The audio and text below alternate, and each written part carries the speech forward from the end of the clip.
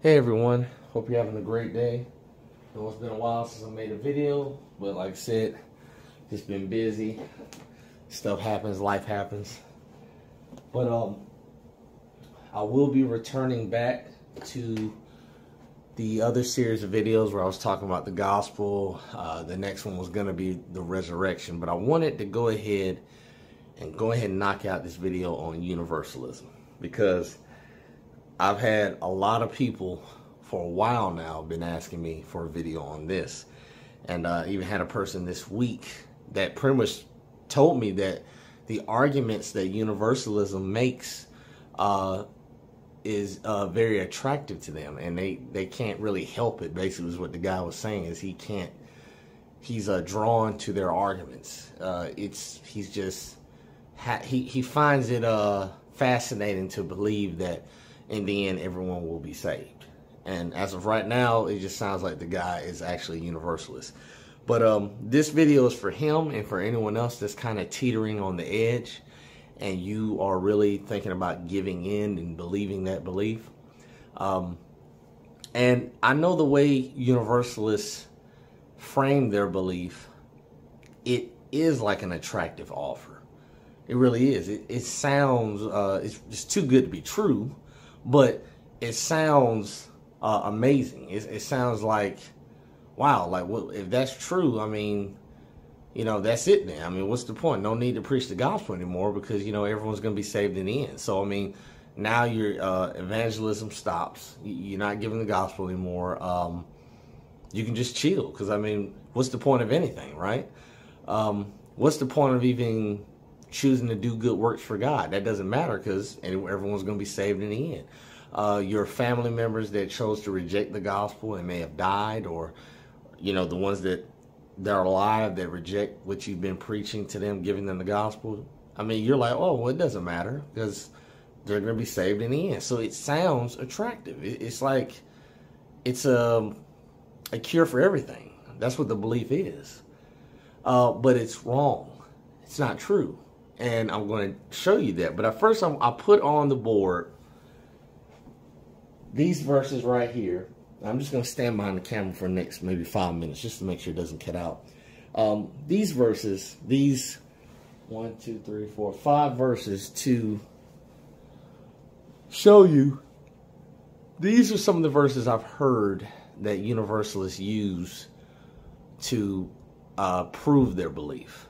Um, they, they swear up and down using those verses that you can prove uh, that everyone will be saved in the end. Now, there's different versions of universalism. You have, um, today I'll be kind of talking about like a hodgepodge of them. Like I'm just kind of just throwing all different universalist beliefs out there. You have universal beliefs that believe that there is no hell and everyone's saved in the end. Then you have universalists believe that believe there is a hell, but you can get out of it. And then you even have a universal belief um, that uh, they think it's kind of their their belief is weird. I'm trying to remember what it was. Their belief doesn't even require that you have any knowledge of the Bible on, on any level at all. It doesn't matter. You're going to be saved in the end, and you'll be taught later on. Like somehow God is going to be like a schoolroom in heaven. It sounds similar to Mormonism or something, but you'll be taught everything you need to know. The point is, everyone there's it's still a version that says everyone's going to be saved in the end. So, if you have your Bibles, turn to Psalm 106, verse 1. We'll start there.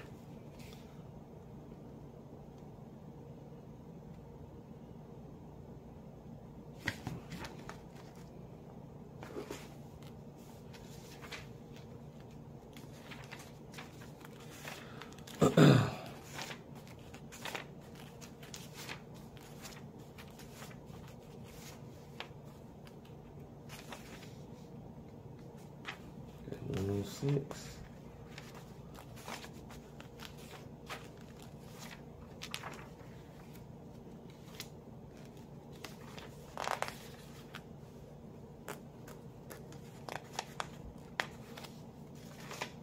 All right. Praise ye the Lord. Oh, give thanks unto the Lord, for he is good, for his mercy endureth forever. Now, this verse, I have heard people use this fact that God's mercy endureth forever, which I believe to be true. That's what the verse just said. But they will say, well, since God's mercy endureth forever, then going by the verse, God is having mercy on mankind forever. And they, which is still true, like the verse says, but they they take it to an extreme to the fact that well if god is truly truly having mercy on mankind forever then there's no way god could send someone to hell forever now again you got some versions that don't believe that there is a hell at all so they don't think god is sending anyone anywhere except for to heaven everyone just goes to heaven in that version but in the other version where people do go to hell that these universalists believe they think God surely can't send you to hell forever because his God's mercy endureth forever. So in their mind, it doesn't make any sense for you to be in hell while you still have God's mercy at the same time. So I've run in, had many arguments with universalists, which you're going to come to understand that the belief that people are in hell and did have mercy and they didn't lose it when I'm saying have. They have it, had it, and still have it, but are in hell is all true. Same way we have people today that have grace right now. You don't have to believe to get it. It's, it's actually pretty sad to know that uh, I have learned that there are people um, that believe that you that think that you have to believe the gospel to get grace from God. It, it, it makes no sense at all when we know there's a clear verse in the Bible. I, I don't have it right now, but um, I'll probably put it in the comment section. It tells about grace was given to all men, all of us. All mankind has been given grace. So it's crazy to me that there are people out there that think you must believe the gospel to obtain grace. I mean, it's, it's crazy. But um, neither did you have to believe the gospel to obtain mercy. Grace and mercy was given to you. You didn't have to do anything for it. Um, but it's there's group there's people out there, limited atonement groups, uh, various other mainstream modern Christianity groups that think you must have faith somehow uh, to have grace and mercy, but it's not true. We all have grace and mercy right now, and I'll prove that to you using verses. But let's go to Romans 11, verse 32 another verse that universalists use to try to prove their belief to be correct. Romans 11, verse 32. For God hath concluded them all in unbelief, that he might have mercy upon all. Now, I will admit, the first time, all right, I'll stand in front of the camera. Hey, everybody. I will admit, the first time that I read Romans 11, verse 32, that I was somewhat confused by this verse. Let's read it again. For God hath concluded them all in unbelief, that he might have mercy upon all.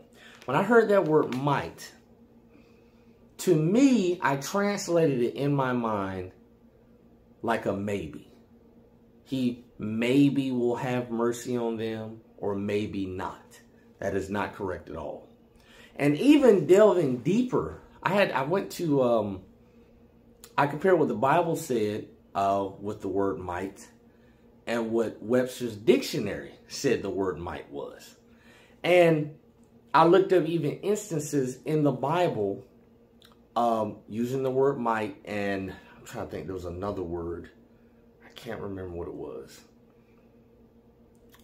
Possible. Because Webster dictionary was talking about might is talking about meaning something is possible. And I looked up the word possible in the Bible, and there was a verse, I can't recall it now. I think it was like with with God all things are possible. I think that may be the verse. And I thought about what Webster's dictionary was saying because Webster's dictionary, using the word definition of possible, was actually saying that something being possible, meaning basically it can happen or it may not happen. While the Bible's definition of possible is not the same as that. Because I remember the verse, it said with, uh, I can't, I wish I could recall it, man. It was like a, a first part of that verse. I'll have to put it in the comment section. Put this way, I'll have to just put it in there so you can see it. The part where it talks about with all things with God are possible. I'm paraphrasing that verse. Probably screwed it up.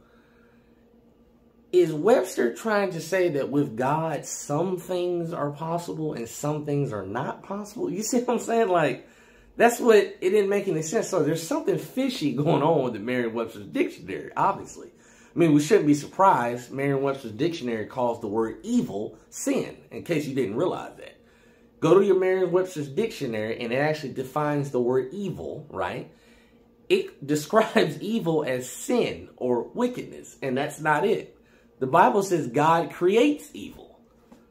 So is Webster saying that God creates sin and wickedness? Of course not.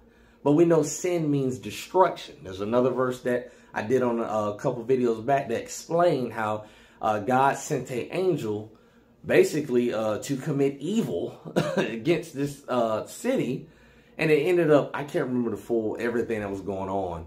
But point is, what I got from that verse when I was reading it, it, it further described this evil that the angel was about to do. And it was destruction. Evil is destruction. That's what I'm trying to get across to you. The Bible defines words for you. But why is Merriam-Webster uh, taking words and changing the definitions and meanings of them? So again, like a word possible or the word evil, it just changes the definition. So when you're looking at the Bible's definition of it, and you look at Merriam-Webster's dictionary, you're like, what? What is this? The Bible says God creates evil. Merriam-Webster says evil is wickedness and sin. so you can see how you get confused. So give me one second, guys. So, um, but that's a whole nother, I don't want to get off on a tangent on how Merriam-Webster changes definitions and meanings. And their definitions and meanings are not accurate at all. They've been changed. Maybe at one time they were accurate, but they've definitely been changed over time. So looking at Romans 11:32 again, I believe right here what this verse is saying is that God does indeed have mercy upon all. It's not a situation where he might maybe might is not meaning in the sense like he maybe have mercy on all or he may not have mercy on all. It's not what it's saying. God has mercy upon all. The saved and the unsaved. Everyone has mercy today. Some people, you, you guys in the comment section might disagree with me. I don't see how you could, but if you actually look at the verse, um, let's read it one more time. For God hath concluded them all in unbelief, that he might have mercy upon all. But the universalist, even though I agree with them that this verse means all unbelievers have mercy, it is not a verse that means that all will be saved. So again, the universalists believe that since God has mercy upon all, and they, God will have mer his his mercy endureth forever. So meaning He will have mercy upon all forever. So in their mind, they're saying, well, there's no way God can keep people in hell forever. That doesn't make any sense. How can you be in hell forever when you have God's mercy upon you forever? But again, I'm going down the line like this because I'm going to go on the other side. These are verses that are going to counteract all these verses that I'm reading right now. But if I if I just go boom, boom, boom, boom, which is what I'm about to do right now, you can see why somebody would start to think in their head, the universalists are right. God has his mercy endures forever. His mercy is upon all. All right. So yeah, this seems correct. That's it seems correct. But it's not. That's what I'm trying to talk about today. Guys, give me one more second. Give me uh, one second.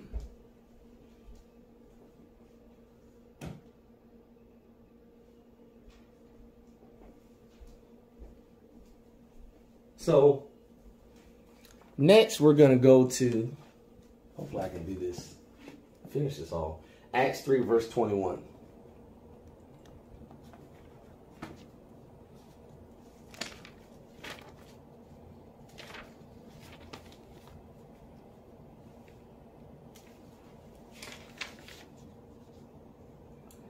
whom the heaven must receive until the times of restitution of all things, which God hath spoken by the mouth of all his holy prophets since the world began. So, this is one of their big verses that they use. That phrase, restitution of all things. So, it's, it's exactly as it says. But what are the all things?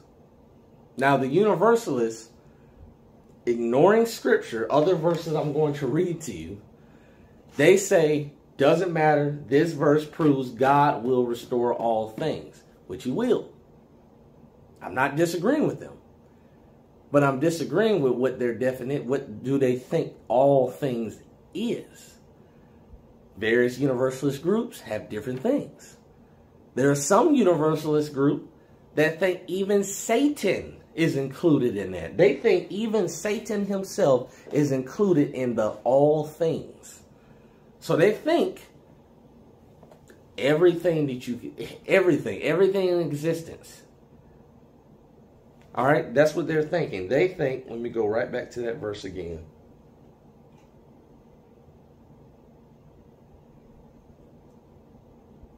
Uh, what's the loss? Here it is. Whom the heaven must receive until the times of restitution of all things, which God hath spoken by the mouth of all his holy prophets since the world began.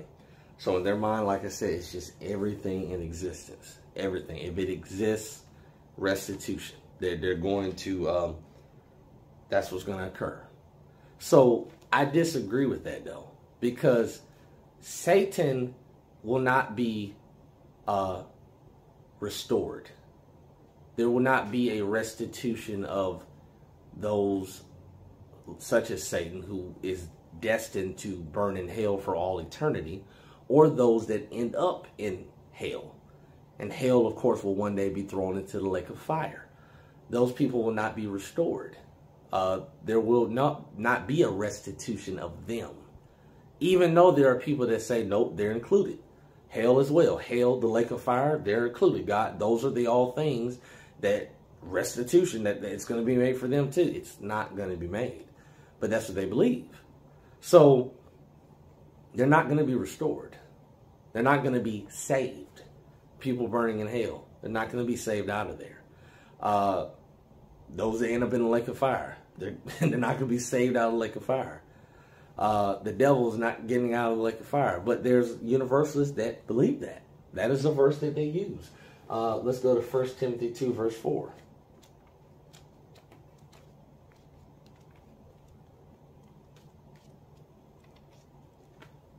And what you'll come to understand is that universalists, most of the groups, strangely agree. If you've someone that's been watching my channel and you know what I believe on this channel, universal forgiveness Universalists, many of them believe in universal forgiveness, but they don't think it is necessary to be believed. They're like, it's, to them, it's like, yeah, we got our forgiveness when Christ died on the cross. Big deal. That's in their head. They're just like, whatever. That doesn't matter. They're like, we're all going to be saved. But you ask them, why are we all going to be saved? Verses like this. That's what they're going to use on you. They're going to say, oh, restitution of all things. And in their mind, translation, God will save everyone. Or this verse that I'm about to read, 1 Timothy 2, verse 4.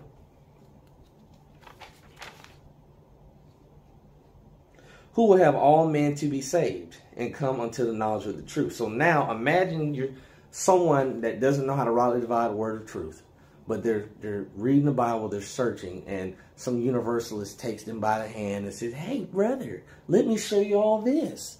So they're just taking them point by point by point. You can see how that will build up in that person's mind. Oh, I see, I see. Everyone's going to be saved. And they say, of course, especially this verse, 1 Timothy 2, verse 4, who will have all men to be saved. See, see, God has a plan that all men will be saved. See, it says it right here. You can't argue with Scripture, now can you? Who will have all men to be saved and come to knowledge of the truth. How are you going to argue with that? Yeah, you're right. That does sound correct. I mean, looks like God is going to have all men to be saved. Wrong. Wrong go. This verse is talking about God's will, his desire.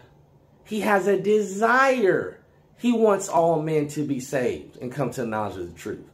God doesn't get what he wants.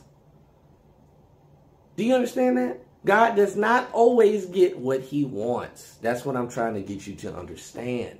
The universalist takes this verse and says God is going to get what he wants and he himself is going to make it a reality. He's going to save all men. It's not what the verse is saying. Look at the first word. Who? Who will have all men to be saved? Who will? Who will? This is what he wants. This is his desire. He wants all men to be saved. But that don't mean it's going to come true. We know it's not going to come true. There are people in hell right now that will never be saved out of it. Universalist has to twist scripture and they'll take that verse and say, no, what it really means is he's going to exact his will. He's going to do it himself, Brandon, and he's going to make it a reality. He's going to save all mankind. So that's what they think. See what I'm saying? That's that's what's going on in their head. Now, it's kind of one of those verses where you're going to come to a crossroads. That's it. I know people that have become universalists simply off of this verse alone. Now, they might still be asking me questions because they're doubting a little bit, but they kind of feel safe in the universalist group because they feel like that verse is, is, a, is solid. See, who will have all men to be saved because knowledge of truth. That, that's iron tight. You can't, it's airtight. You can't, uh, there's no way around it. God is going to make his will a reality. He's going to exercise it. He's going to, all men will be saved. See, they twist. That's what they do. Never seen the verse as a desire. It's just God's desire. It's just what he wants. It's his will. It's what he wants to happen, but it's not going to happen. I know it's not going to happen because there's other verses over here to counteract that. Counteract. These verses counteract things that these verses are saying. Now, not now. Let me say this when I say counteract, not counteracting the the universalist belief. Okay, not directly counteracting, but I'm saying what the universalist believes about these verses.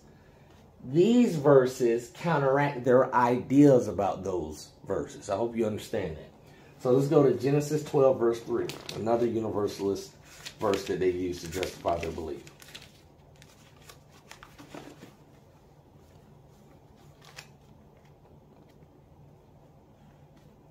And I will say the universalists are growing. They're growing. Uh, they're getting pretty big.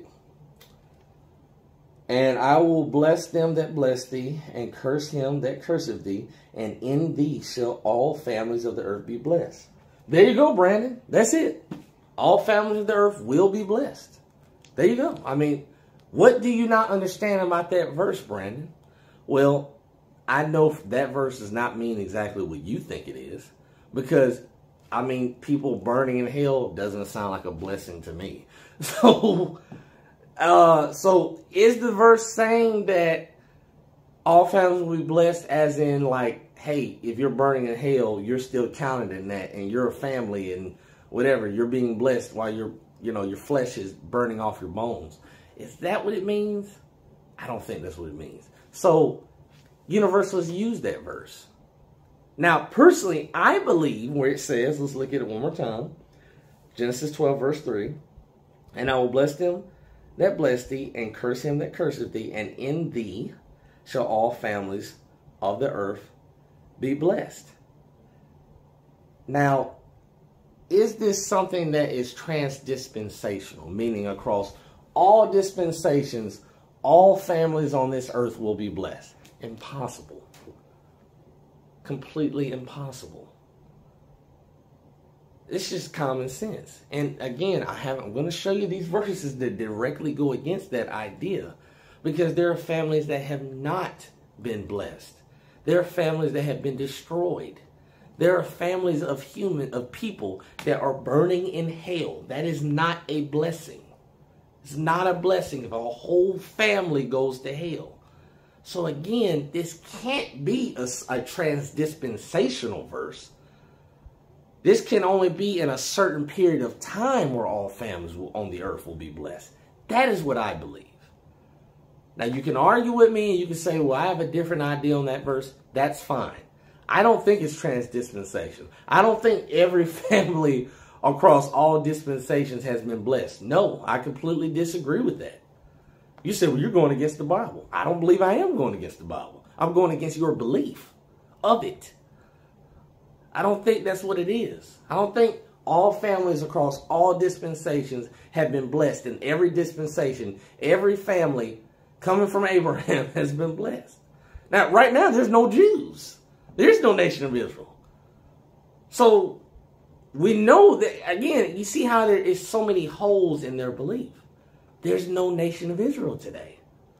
Didn't the verse just say, in thee, in Abraham? Is anyone a part of the family of Abraham today? No. There's no nation of Israel. Therefore, already that idea that it's transdispensational is wrong. In the dispensation of grace, there is no family connected back to Abraham that is alive today being blessed. There is no nation of Israel today. There is no nation of Israel today. Yes, I know there's a place over in the Middle East called Israel, and those people on it call themselves Jews. That is not God's nation of Israel. There is no nation of Israel recognized by God. That's just the way it is. So again, okay, we're still going. There is no, let's look at Genesis 12, verse 3 again.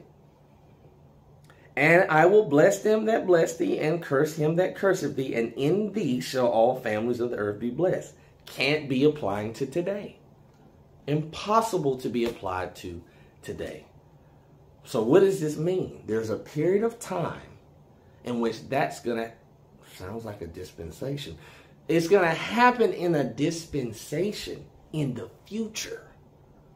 Okay? In the future. Not right now. That's what you have to understand. Unless we are going to conclude that this verse, God has already accomplished what this verse is saying in the past already, I don't believe he has. I believe it is something that will happen in the future, not today. But the universalist thinks that verse applies today. They think families of the earth today are being blessed. Again, how are they being blessed when there are families burning in hell? Common sense common sense. Use your use your brain. Use your brain matter. Think about it. Families are suffering today. They're not being blessed. but again, the universalists, the brainwashed universalists, ignores that. They're going to ignore the verses I'm about to show you on this side now. Romans chapter 1, 16 through 17.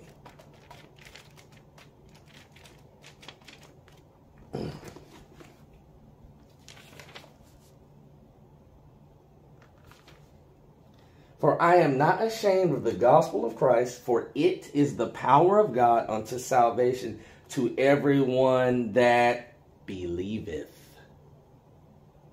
What happens if you don't believeth in that verse? What happens if you don't believeth? You don't get salvation.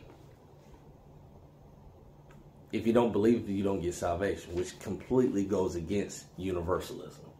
Universalism says belief is not required, all will be saved. While the verse that you just saw says, uh, let's read it again. For I am not ashamed of the gospel of Christ, for it, for it, it, not you. All right? Not what Rodney Bailaloo says, KFC man, not him, not Rob Bell, or anybody else that believes in these universalist garbage. No, it it, the gospel of Christ, it is the power of God unto salvation to everyone that believeth. If you don't believeth, you don't get salvation. That's just it. You don't get it. For I am not ashamed of the gospel of Christ, for it is the power of God unto salvation to everyone that believeth, to the Jew first, and also to the Greek. It's one verse goes against everything I just read over here. Their ideas about these verses. them thinking that each one of these verses is a universally strong point of, you know, like this proves our belief. This one verse goes against all of it. Okay? You can't say, well, all right, well, God's mercy endureth forever. So because his mercy endureth forever, all will be saved. Wrong. You got to believe the gospel. You got to believe to get salvation. Counteracts that. All right, well, over here, um, well, God's mercy is upon all. Since God's mercy is upon all, uh, there's no way you can go to hell. Or because God's mercy is upon all and you happen to be in hell, God's going to get you out. You're going to get saved. You're going to get salvation out of hell. Wrong. Only those that believe get salvation. I, I can just do this for each one. Each one. So, even here, 1 Timothy 2, verse 4, talking about God's will, who will have all men to be saved and come to the knowledge of the truth. That's God's desire. We already know, looking at this verse again, hey, God wants all men to be saved and come to the knowledge of the truth. But what happens if you don't believe it? You don't get salvation. Is that possible? Are there people that have not believed it and have not got salvation? Of course. Therefore, already, God's not getting what he wants. Because even one person, because he said all, who will have all men to be saved from of the truth. If one person is in hell, and they are, there's many people there. But even if there was just one, this invalidates that this idea that God will make this happen. It invalidates it. All right? This verse right here, if you had that one guy that didn't believe it, he didn't get salvation, well, how come God didn't have the power to save that guy? If his will, which we know is his will that all men to be saved, but let's go with the universalist idea. It's in their mind, it's his will, and he acts upon his will. Saying of the gospel of Christ, for it is the power of God. Paul is telling you the gospel is, is Paul wrong? No. He's doing what God told him to do. He's speaking the words God told him to speak. This isn't Paul's uh, opinion. okay? It's been moved by God to say this. Is coming from God. The man speaking, Paul the man is speaking, but it's coming. These This information is from God. So what is God telling you? He's telling you the gospel of Christ is the power of God, him, God, to salvation to everyone that believeth. You only get salvation if you believe it, that gospel. You believe it. Therefore, the universalist ideal, this verse is wrong. God is not going to forcefully save everyone against their will and make his will a reality. No, he's not. That's just his desire. It is his will that he wants all men to be saved and come to the knowledge of the truth. It's just a desire. That's all it is. God is not saying, I'm going to make this a reality and I'm going to make sure every single man is saved. Nope. It's just his desire. He will. He wants all men to be saying, come to knowledge of the truth. But, he, I mean, if he was saying, I'm going to make this a reality, then God has failed. That's what. He's failed. You're making God a failure by saying he said he was going to make that a reality. He's failed. There's people in hell right now. Let's go to another verse. Second Thessalonians chapter 1, 8 through 9.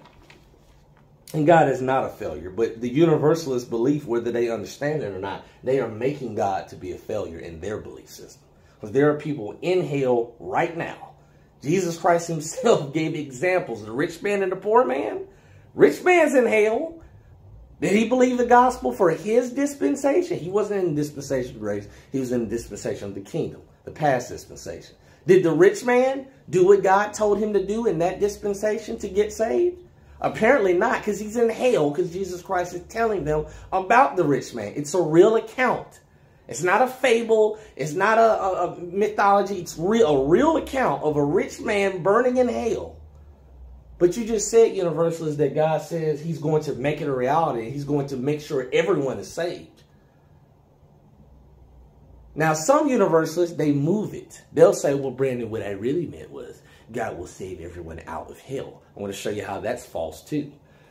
Second Thessalonians chapter 1, verses 8 through 9.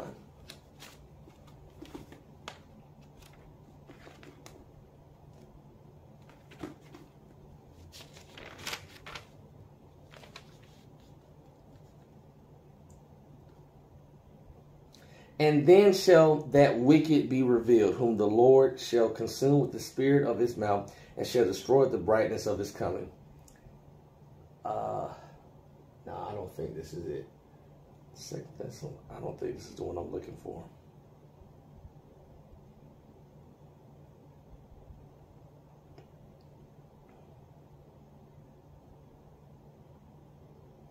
Yeah, this is not it. I was looking for something else. Man.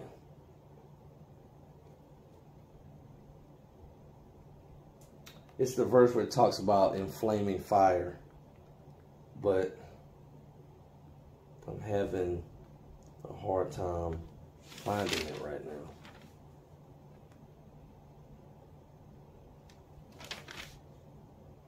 That's right. I'll put it down in the comment section. I can't find it right now. I don't know why I can't find this verse. Um, let me see.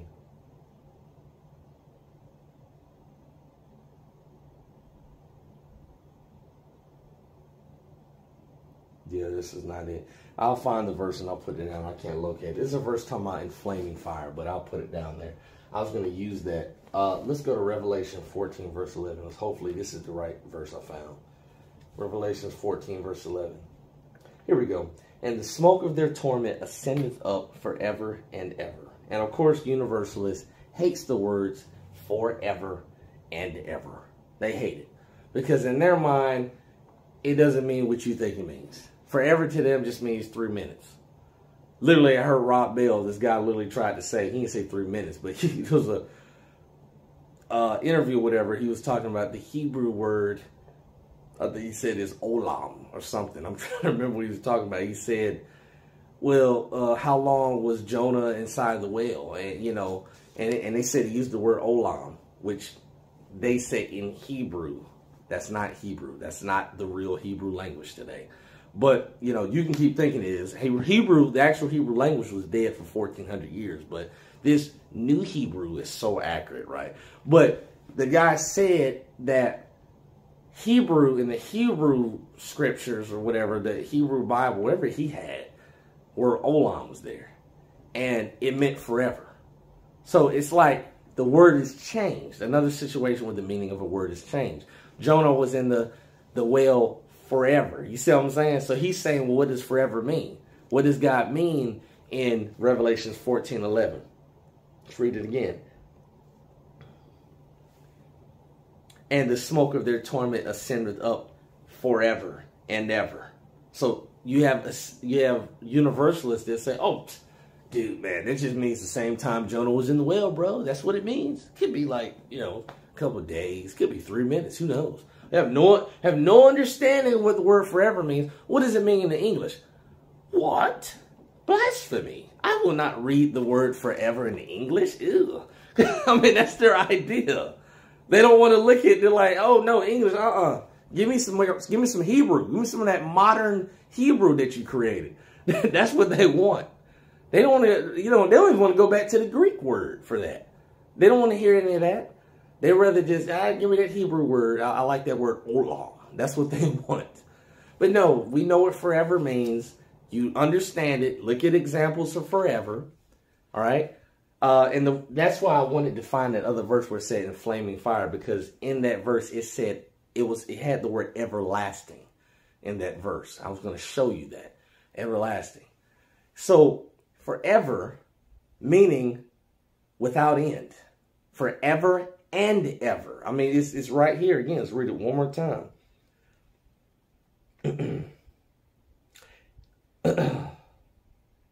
and the smoke of their torment ascended up forever and ever. And they have no rest, day nor night, who worship the beast and his image, and whosoever receiveth the mark of his name.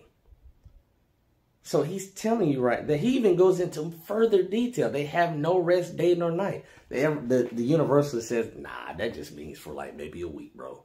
So you see what I'm saying? These people, you they change words. They change words and it's it's hard to really talk to them about the Bible because words like forever and ever, they're gonna change it. While you might believe common sense, you're gonna say, yeah, this means without end. Everlasting. It's it's never going to end. It's going to keep going on and on and on and on and on forever. Like some people even try to use like I heard one guy tried to connect this. This will be it, and I'll be ending this video. Yeah, this is getting long. One guy actually tried to say, well, forever is like a time word. And see, God made time. So what happens when God removes time? See, see? So forever loses its power. So now, forever doesn't mean anything because, see, there's no time, except for God has been God forever. He, God has no beginning and no end. How long has God been God? like, that's what question I'm asking you. Because God is God outside of time. And I know there's verses in the Bible that talk about God being God forever. His power and his majesty and his sovereignty, everything is forever. See what I'm saying? Is that saying only until he ends time, he's God? And when he ends time, he's not God anymore? But that's the type of BS that universalists come up with, people. They come up with stuff like that. The word forever is only connected to time. And when God ends time, now the word forever doesn't mean anything. So now God can let everybody out of hell. This is the type of logic that they use. That's the type of logic that they use. Oh, yeah, that makes sense to me right there. So, any, you know, and people, they know this doesn't make any sense, but they want it so badly to be true. They want it so badly to be true. Even though I just read you verses, and there's one verse I couldn't find, I'll put in the comment section. Verses that talk about people being tormented forever and ever. The smoke of their torment ascendeth up forever and ever. The universalist says, nah, that's not what you think. It's a mistranslation. They don't believe the Bible. They don't believe the word of God. I'm holding my hands. They don't believe it. they, they, they allow ah, mistranslation. We don't really have God's word. This is kind of more of a guidebook. if it's more of a guidebook, why do you just have this belief of you? Oh, I, I forget. That's why you got to make your own books. Yeah. So the, if you're someone that wants to be universalist, just remember the universalists made their own book because they believe this is wrong. They believe the KJV 1769 is wrong. It's, it's invalid. It has it's flawed. His uh, mistranslations all over. So they had to create their own Bible. You still want to believe the universalist belief when the universalists had to depart from this and make their own book to try to make their belief valid and logical? You can make I can make anything logical. I can just write my own book and make anything logical in my world, in my imagination land. And that's what the universalists are doing. In their imaginary land, they're just making anything, they're justifying in their head, they're just making it logical to them. And they don't care about what the Bible says. They don't care. They care about everlasting fire. That doesn't mean anything to them. All right, so I hope you got a lot out of this. Um, anybody else want me to do more uh, videos on universalism? I'll do some more. I know there's some more verses I can talk about. The verses that I couldn't put up on the board that I forgot about, I'll put in the comment section. But I hope this video helps you out. Have a great day.